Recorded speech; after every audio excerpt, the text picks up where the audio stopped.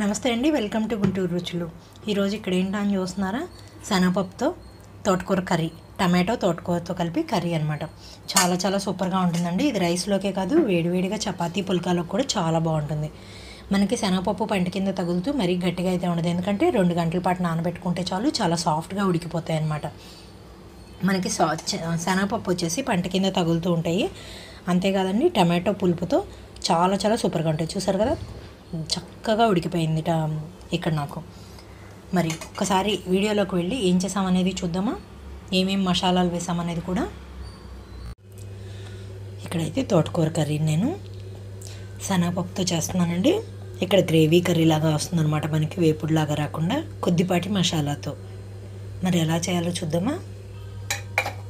ఇక్కడ నేను stove on చేసి పాన్ పెట్టుకున్నాను. ఇందులోకి గ్రేవీకి తగినట్లుగా ఆయిల్ తీసుకుంటున్నాను. గ్రేవీ కర్రీకి తగినట్టుగా. నేనైతే ఫోర్ టేబుల్ స్పూన్స్ తీసుకుంటున్నానండి. తోటకూర మనకి కూ- ఉడకటం వరకు కొంచెం టైం పడుతుంది. కాడలతో సహా వేసేస్తాం కాబట్టి. ఇక్కడైతే ఆయిల్ కాగిన వెంటనే తాలింపు గింజలు ఎండుమిరపకాయలు వేసేసుకుంటున్నానండి. ఇక్కడ చూడండి తాలింపు గింజలు వేగిపోయినాయి కదా. ఇందులోకి పచ్చిమిరపకాయలు అలాగే ఉల్లిపాయలు వేసేసుకుంటున్నాను. ఇక్కడ ఉల్లిపాయలు కొంచెం సాఫ్ట్ కలర్కి వచ్చే వరకు ముందుగా వేయించుకోవాలి మనం.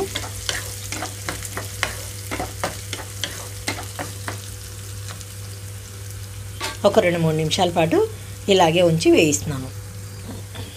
ఇక్కడ చూడండి ఉల్లిపాయలు కలర్ మారిపోతుంది కదా. ఇప్పుడు నేను అల్లం వెల్లుల్లి పేస్ట్ ఒక స్పూన్ వేస్తున్నాను ఇందులో. అలాగే నానబెట్టుకున్న పచ్చిసెనపప్పును వేస్తున్నాను. ఇక్కడ నేను హాఫ్ కప్ వరకు పచ్చిసెనపప్పు వేసుకున్నానండి ఇందులోకి. మీడియం ఫ్లేమ్లో ఉంచి కలుపుకుంటూ ఉంటే కొంచెం పచ్చి వాసన అనేది పోతుంది. అల్లం వెల్లుల్లి పేస్ట్ అలాగే పచ్చిశనగపప్పు కూడా. ఇక్కడ నేను శనగపప్పు అయితే రెండు గంటల పాటు నానబెట్టుకున్నాను ఇవి. రెండు మూడు నిమిషాల తర్వాత చూడండి ఇక్కడ ఉల్లిపాయలతో పాటు శనగపప్పు కూడా కొంచెం వేగిపోయింది నాకు. ఇప్పుడు ఇందులోకి నేను తోటకూర యాడ్ చేస్తున్నాను. సన్నగా కట్ చేసి పెట్టుకున్న తోటకూర మొత్తం కూడా నేను ఇందులోకి వేసేస్తున్నాను.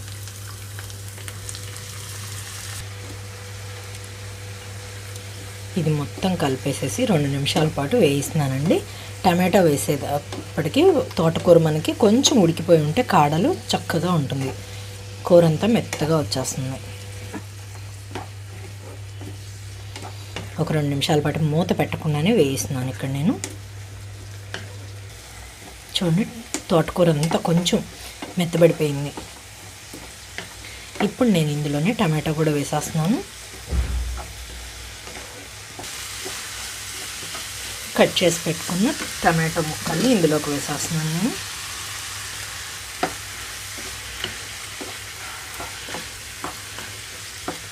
టమాటాలో వాటర్ వచ్చేదాన్ని బట్టి మనం వాటర్ అయితే యాడ్ చేసుకోవాలి. ఒక హాఫ్ కప్ వరకు అయితే సరిపోతుంది మనకి ఇక్కడ.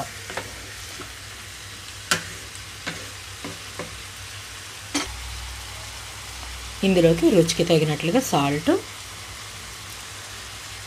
అలాగే పసుపు దీంతో పాటుగా కారం. పచ్చిమిరపకాయలు వేసాం కదా కారం ఒక స్పూన్ అయితే వేస్తున్నాను నేను ఇక్కడ.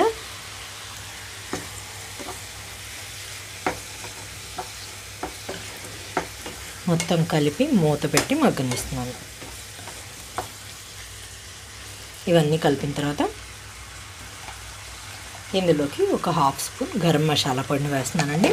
ఘాట్ ఎక్కువగా ఉండకూడదు అనుకుంటే హాఫ్ స్పూన్ సరిపోతుంది ఇక్కడ మనకి. నేను ఇక్కడ మీడియం ఫ్లేమ్లో ఉంచాను.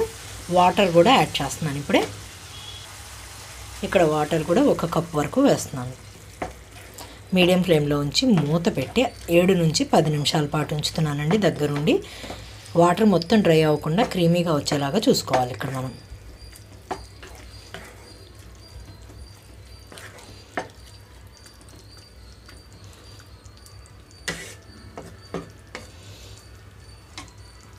ఇక్కడ మూత పెట్టి మగ్గనిస్తున్నాను.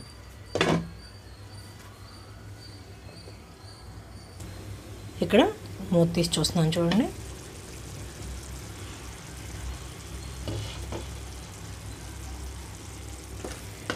వాటర్ అయితే కొంచెం తగ్గింది కానీ ఇంకో కొంచెం మనకి ఉడికిపోవాలి. ఇక్కడ ఒకసారి తోటకూర కాడలు శనగపప్పు చూసుకుంటే తెలిసిపోతుంది.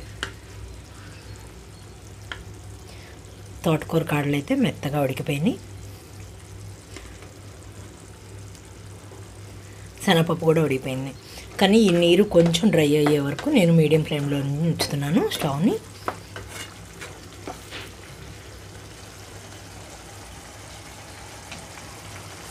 కొంచెం సాల్ట్ అయితే పడుతుందండి.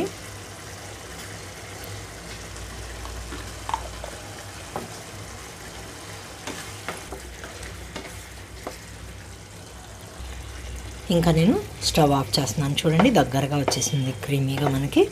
ఇలా ఉంటే రైస్లో కలుపుకోవడానికి బాగుంటుంది. ఇది చపాతీ పుల్కాలో కూడా చాలా చాలా సూపర్గా ఉంటుంది. స్టవ్ ఆఫ్ చేస్తున్నాను నేను ఇక్కడ. మీరు కావాలనుకుంటే కొత్తిమీరను వేసుకోవచ్చు లేదనుకుంటే స్కిప్ చేసుకోవచ్చు.